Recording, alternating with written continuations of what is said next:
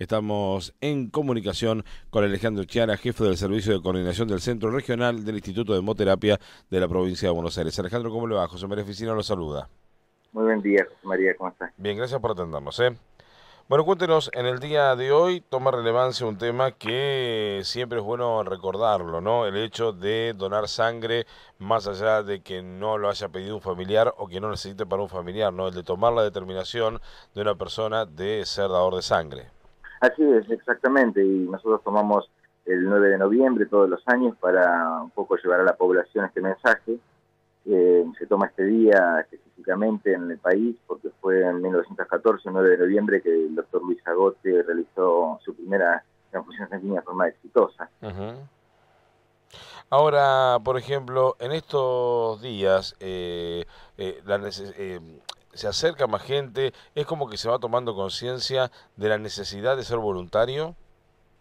Sí, por suerte, mm, gracias a todas las acciones que estamos llevando adelante en la provincia de Buenos Aires, la donación de sangre está más cerca de la, de la población, la población va tomando conciencia, pero aún nos falta mucho camino por recorrer para que mm, ese donante que hoy dona por alguna causa que tiene algún familiar, un amigo internado, lo haga de forma voluntaria repetida y como un acto de responsabilidad social para la comunidad. Eh, eso es un camino que vamos a seguir trabajando permanentemente y eh, lleva mucho esfuerzo, pero es necesario que las nuevas generaciones comprendan esto. Ustedes desde mm, hemoterapia están eh, hacen hincapié hace años en esto, ¿no? En el hecho de tomar conciencia de cualquier que, que, cualquiera puede ser donante, la posibilidad de ir y dar este, sangre, que se pierden solamente un par de minutos y que se está colaborando mucho, que para la salud de uno también es, es bueno. Exactamente, en realidad, eh, si uno, digamos, habla en forma estricta, no todos podemos ser donantes de sangre, se deben bueno, sí, pero la gran mayoría. requisitos, pero la gran mayoría, por supuesto que sí, y eh, es una, una, una actitud, digamos, eh, que, que, es eh, beneficiosa para toda la población, porque en realidad nosotros podemos hoy estar aquí conversando tranquilamente y mañana podemos estar internados necesitando una unidad de sangre o algún hemocomponente. O sea, ninguno de nosotros está de un lado permanentemente o del otro. O sea que es un, acto de, como nosotros repetimos siempre, de responsabilidad social que hace que una comunidad eh, se vea y trabaje y, se una en esta actitud, digamos, que es solidaria para, para con todos nosotros, ¿no?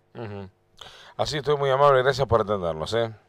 Bueno, cómo no, y los invitamos eh, a pasar por el Instituto de Homoterapia, que en unas horas más vamos a estar iniciando un poco estos festejos. Lamentablemente tuvimos que suspender lo que estaba programado para hoy en Plaza Moreno por el, por el tiempo, porque está poniendo muy feo y hay mucho viento ya, pero bueno, trasladamos toda nuestra actividad para el Instituto de Homoterapia, calle 15, esquina 66, e invitamos a todos los que se quieran acercar a compartir con nosotros un rato. Eh, gracias por atendernos. ¿eh? Ah, gracias a ustedes por difundir el tema. Gracias. Y en este Día Nacional del Donante Voluntario estábamos en comunicación con el señor Alejandro Chiera, jefe del Servicio de Coordinación del Centro Regional del Instituto de Hemoterapia de la provincia de Buenos Aires. Cuando eh, una persona puede ser donante y por ahí se lo pide por un familiar o se lo pide un amigo, por el padre, uno va y da sangre. Eh, pero cómo nos cuesta ser voluntarios, que es la conciencia que tenemos que tomar.